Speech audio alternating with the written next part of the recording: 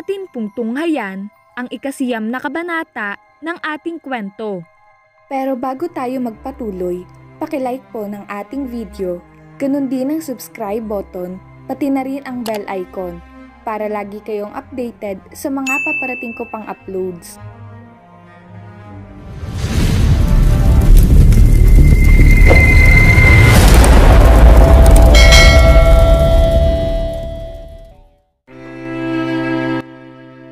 Nagsimula na si Andrea na maghanap ng trabaho bilang paghahanda sa nalalapit na pagdating ni Lawrence at nagdesisyon siyang babalik na sa village bago pa dumating ang lalaki. Sinuwerte namang nakakuha siya ng bagong trabaho na ang sweldo ay malapit ng pumantay sa dati niyang tinatanggap. Tatlong araw bago dumating si Lawrence ay kinausap niya ng masinsinan si Stacy. Gaya ng sinabi mo, aalis na lang ako nang hindi nagpapaalam kay Lawrence para maging magaan sa kanya ang gagawing pakikipagkala sa akin. Sabihin mo sa kanya na walang problema sa akin.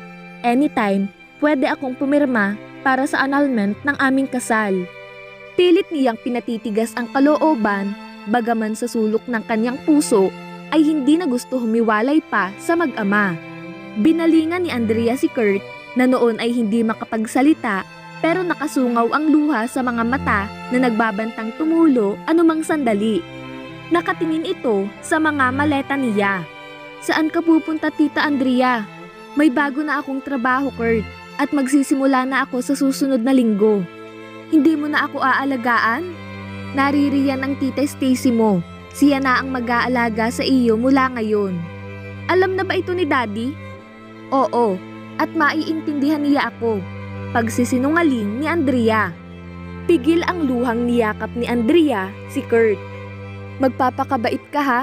Lagi kang susunod sa tita Stacy mo. At doon ay napaiyak na ang bata at aayaw na nitong umalis sa pagkakayapos kay Andrea.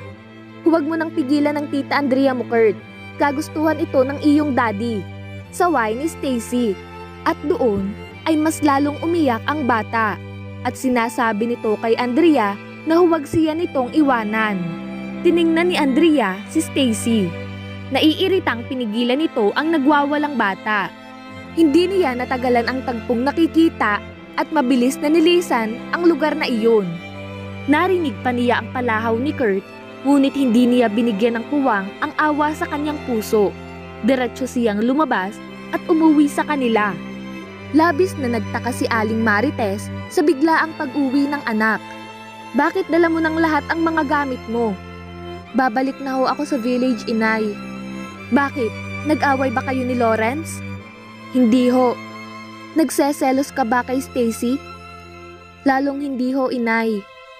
Eh ano ang dahilan at umalis ka sa bahay ng asawa mo? Ikatutuwa ni Lawrence ang mga pangyayaring ito, inay. Maniwala kayo sa akin. Mapakla ang ngiting wika niya sa ina. Pilit niyang pinagtatakpan ang sakit ng loob na nadarama ng mga sandaling iyon.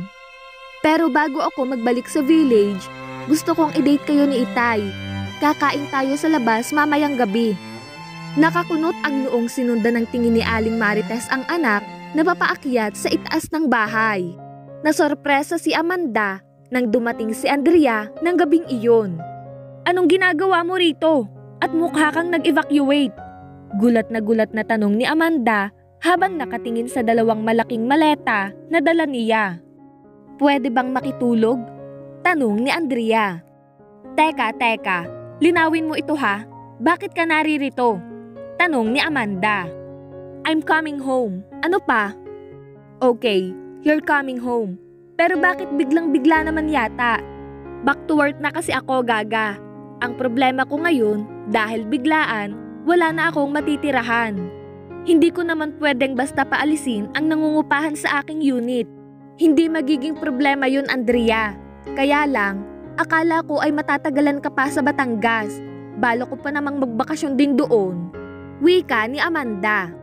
Naiinip na ako, kaya naghanap na ako ng trabaho at pinagsisimula na ako by next week. Eh, papaano ang batang inaalagaan mo? May bago ng tagapag-alaga. Talaga? Nakakabigla talaga ang mga desisyon mo. Kung sa bagay, tamang-tama ang dating mo. I have a good news for you. And what is the good news, my dear friend? Pilit niyang ikinukubli ang kalungkutan sa kanyang dibdib. I'm in love, Andrea. At last, natagpuan ko na si Mr. Right. Two weeks na kaming mag-on. Nangingislap ang mga matang pagbabalita ni Amanda. Ha? Sino ang malas na lalaki? Hoy, excuse me. Swerte nga siya dahil siya ang first man sa buhay ko, no? Kilala ko ba siya? Hindi mo siya kilala. Actually, one month pa lang kaming magkakilala. Na in love akong talaga sa kanya. Love at first sight yata. Sigurado kang mahal mo? Yes. By the way, don't tell it to anybody yet. Ikaw pa lang ang pinagsabihan ko. Ang swerte ko naman. Siyempre, tayo yata ang best friends. Kaya ikaw, kapag nagka-boyfriend ka na, ako rin ang dapat na maunang makaalam. Para siyang napahiya sa tinura ni Amanda. Kung nalalaman lang ng kaibigan na ang dami nang nangyari sa kanyang buhay na hindi pa nito nalalaman. Bakit ganyan ang mukha mo? Tila gulat na gulat ka sa mga sinabi ko. Hindi Amanda, nahihiya nga ako sa iyo eh. Bakit ka naman mahihiya sa akin? Naglihim kasi ako sa iyo. At hindi na niya napigilan ang maiyak. My goodness, pumayag ang paggalaw gayong wala naman palang kayong commitment sa isa't isa? Ano ang magagawa ko? Tao lang ako. Mahinang wika ni Andrea. No, I don't believe na iyon ang dahilan. Ang sabihin mo, may simpatya ka siguro sa lalaking yan kaya ka pumayag na may mangyari sa inyo. Paano mong nahulaan? Andrea, kilala kita. Ikaw pa? Kahit na nga matagal mo ng pangarap na maging bride, ay alam kong hindi mo magagawang ipag-alukan ang sarili mo, lalo pa at hindi mo naman mahal. Siguro nga ay mahal ko si Lawrence. Mahal mo pala eh. Eh bakit mo pinabayaang mapunta siya sa Stacy na iyon? Bakit hindi mo ipaglaban ang karapatan mo? Ganyang kasal na pala kayo. Ayokong mapilitan si Lawrence na magkaroon ng commitment sa akin. Andrea, pinakialaman ka niya. Dapat lang napanagutan ka niya. Galit na wika ni Amanda. Tigas na kaiiling niya. Ayoko nang magkita pa kami Amanda. Palagay ko, matatagalan na naman ako bago umuwi sa Batangas. I'm home! Malakas na tinig ni Lawrence ang tumawag ng pansin ni Kurt na noon ay malungkot na nakamukmok sa kwarto. Masayang masaya si Lawrence nang dumating ng araw na iyon. Kasabay nitong dumating si Dexter na hindi muna nagdaan sa kanilang bahay dahil sabik na makita ang kapatid na si Andrea. Pagbukas ng entrance door ay nawala ang ngiti ni Lawrence nang makita si Stacy at hindi si Andrea. Sa tabi nito, ang malungkot na si Kurt. Si Andrea, tanong ni Lawrence. Ha? Wala, umalis. Litong sagot ni Stacy. Umalis? Alam naman niyang darating ako ah. Dala na niyang lahat ang mga gamit niya, Lawrence. Ano? Gulat na naibulalas ng lalaki. Nagsasawa na raw siya kakaalaga sa aking daddy. Magtatrabaho na raw siya. Palahaw ni Kurt. Bakit? Ano ang nangyari? Usig ni Lawrence kay Stacy. Well, It shows na hindi bukal sa kalooban ni Andrea ang pagpapakasal sa iyo Lawrence.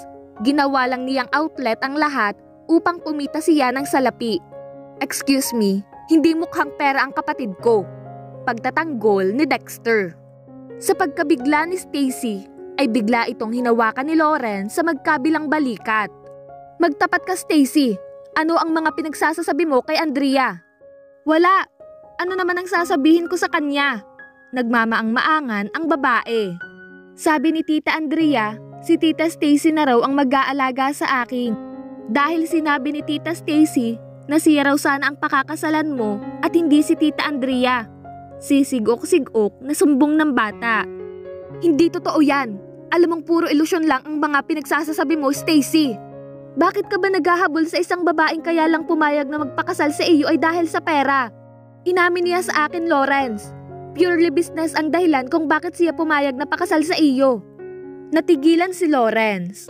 Mag-uusap kami ni Andrea. Kapag nalaman kong ikaw ang punot dulo ng gulong ito, ay hindi kita matpapatawad Stacy. At pasalyang itinulak ni Lawrence ang babae. Sa mga oras ding iyon, ay napasugod ang dalawang lalaki kay Aling Marites.